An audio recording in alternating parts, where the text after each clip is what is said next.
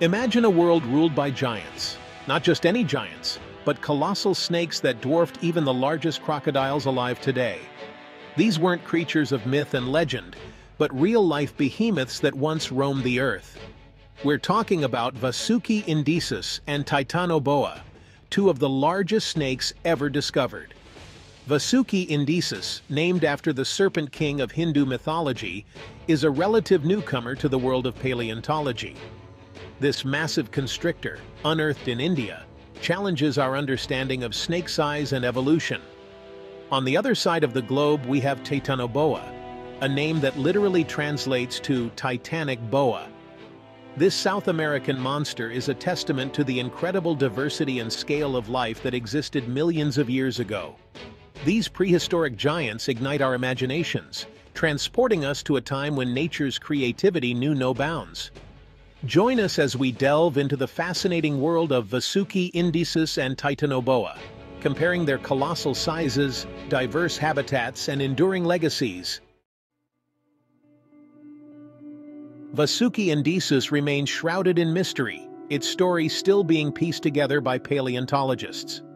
What we do know is that this snake was enormous, potentially reaching lengths rivaling those of Titanoboa. Its fossils, discovered in India, hint at a creature that thrived in the Eocene epoch, roughly 50 million years ago. While complete skeletons are elusive, the fragmented remains, including vertebrae of immense size, paint a picture of a powerful constrictor. Imagine a snake so large it could swallow a cow whole. Its size alone speaks volumes about the ecosystems it inhabited, where prey must have been plentiful to sustain such a massive predator. Scientists are hard at work, painstakingly uncovering more about Vasuki indicus. Each new discovery brings us closer to understanding its place in the snake family tree and its role in the ancient ecosystems it called home. Was it a stealthy ambush predator or an active hunter?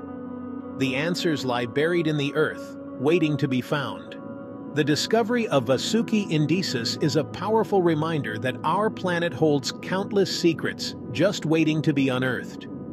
As we continue to explore the fossil record, who knows what other giants we might encounter, further expanding our understanding of life's incredible journey through time? Don't forget to like this post and subscribe to Scarhound for more fascinating insights into the prehistoric world. Titanoboa, the Titanic boa, needs little introduction. This prehistoric monster has captured the imaginations of people worldwide, becoming synonymous with gigantic snakes of the past. This colossal serpent, unearthed in the coal mines of Colombia, stretched over 40 feet long and weighed as much as a small car. Imagine a snake thicker than a telephone pole, its scales shimmering under the tropical sun. Its massive jaws could open wide enough to swallow a crocodile whole, and its powerful body could crush the bones of its prey with ease. Titanoboa was the undisputed apex predator of its time, reigning supreme in the humid swamps of Paleocene South America. This was a world still recovering from the extinction of the dinosaurs, where dense rainforests provided the perfect environment for reptiles to thrive and diversify. Titanoboa's immense size tells us a lot about the climate of the time, Snakes, being cold-blooded, rely on external heat sources to regulate their body temperature. The discovery of Titanoboa's fossils sent shockwaves through the scientific community, providing invaluable insights into the evolution of snakes and the ecosystems they dominated millions of years ago. This incredible creature serves as a window into a time when giants walked the earth, reminding us of the power and majesty of the natural world. If you're enjoying this deep dive into the world of prehistoric giants, don't forget to hit that like button and subscribe to Scarhound for more.